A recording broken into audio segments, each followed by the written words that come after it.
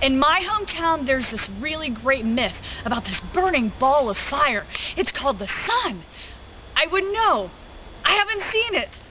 My hometown is so green that they recycle everything, including the manure. And in springtime, it just smells lo- Living in my hometown is like living in a country club, but with guns. I live in Geilenkirchen, Germany. I said I need to see your ID.